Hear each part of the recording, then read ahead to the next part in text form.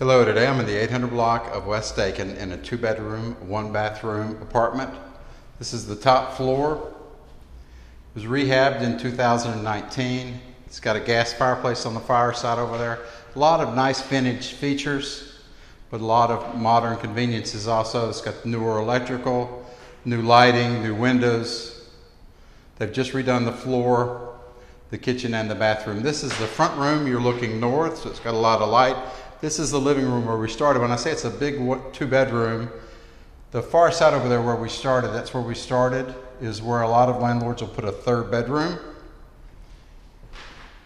It has a closet, actually a nice walk-in closet.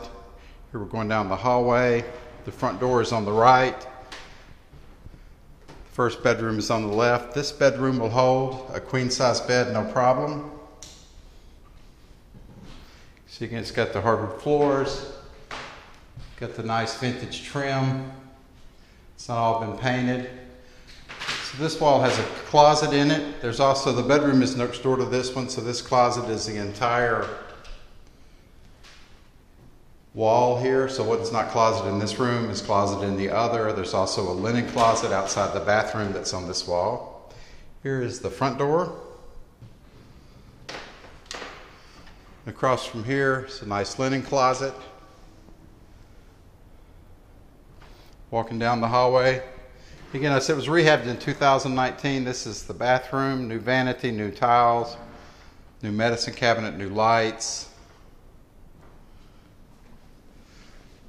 They redid the tub, nice new white subway tile surround.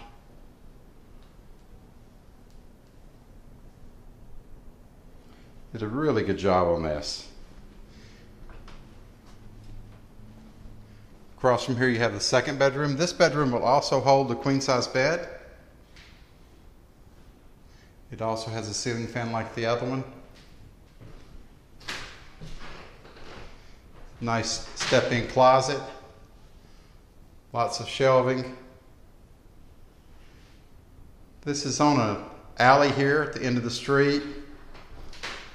So over there is Lakeshore Drive. You can see the New Yorker. So that's where park is. It's a nice southeast exposure. Central heat and air conditioning, gas forced heat.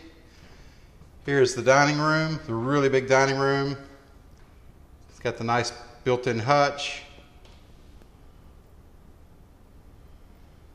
And again, a lot of vintage touches.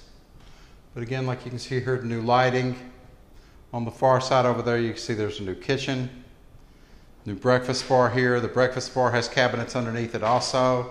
Stainless steel appliances, stone countertops, espresso cabinet, stainless steel pulls.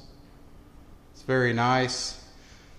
It's not in yet. They're installing it tomorrow, but it's a stackable washer and dryer here.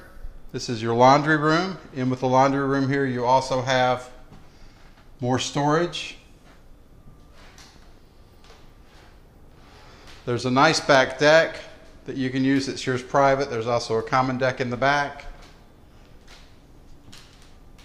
I'll walk back up to the front door.